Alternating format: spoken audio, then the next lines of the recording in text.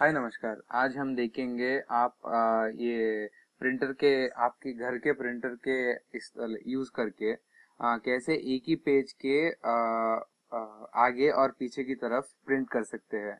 जब हम बाहर जाके कोई जेरोक्स शॉप में नहीं तो प्रिंटर शॉप में ये करने के लिए पूछते हैं वो जो शॉप में वो ऑपरेटर जो रहता है वो जेरोक्स मशीन जेरोक्स मशीन और प्रिंटर के हिसाब से कर लेता है। वो घर में कैसे करना, ये क्वेश्चन आपको रह सकती है। वो कैसे करना, मैं आपको ये वीडियो के द्वारा बता देता हूँ।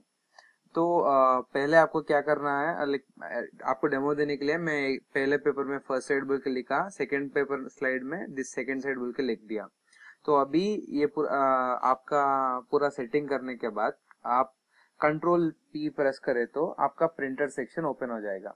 प्रिंटर सेक्शन ओपन होने के बाद आप देख सकते हैं स्क्रीन पे फ़र्स्ट साइड फ़र्स्ट पेपर है सेकंड साइड सेकंड पेपर है। तो इधर सेटिंग्स में बाय बाय तरफ़ ऑप्शंस में print on both side pages के नीचे एक ऑप्शन है प्रिंट ऑन बोथ साइड उसके ऊपर आप अगर क्लिक कर दिए तो आपको थोड़े ऑप्शन आ जाएँगे। तो पूरे चार ऑप्शंस रहते हैं प्रिंट वन साइडेड जो एक साइड पे प्रिंट होने के लिए ये ऑप्शन को चूज़ करना है।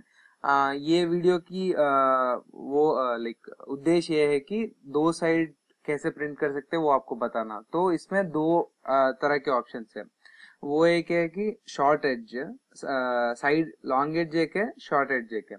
लॉन्ग एज बोले तो साइड बाय साइड जो अपनी टेक्स्ट बुक जैसे रहती वैसा।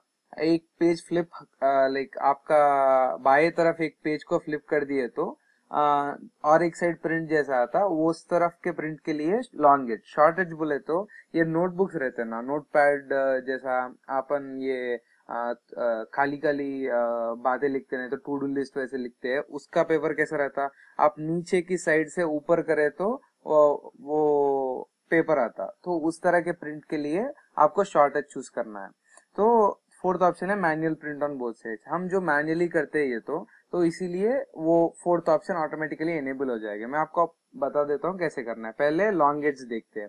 लॉन्ग एज चूज़ करके आपको प्रिंट दे देना चाहिए। दे दिए तो आपको एक पॉपअप आ जाता। पॉपअप क्या बता रहा है कि आपको प्रिंट दे देना है और पेपर रखने के बाद पहला प्रिंट जब हो जाएगा, उसके बाद आपको फ़र्स्ट स्टेप हो जाएगा। एक प्रिंट होके पहला साइड आ जाएगा। फ़र्स्ट स्टेप होने के बाद आपका सेकेंड स्टेप करना है। क्या है कि फ़र्स्ट स्टेप फ़र्स्ट जो पेपर प्रिंट होके बाहर आया, उसको उसी तरह उठा के, उसका पोजीशन चेंज मत करके, उसको वैसे ही निकाल के नीचे ट्रे में रख देना, जहाँ आप पेपर भरते हो।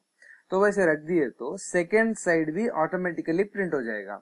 आप अगर नोटिस करें तो प्रिंट हुआ पेपर नीचे रहता और सफ़ेद शीट ऊपर रहता। तो इस तरह आपका प्रिंट हो जाएगा।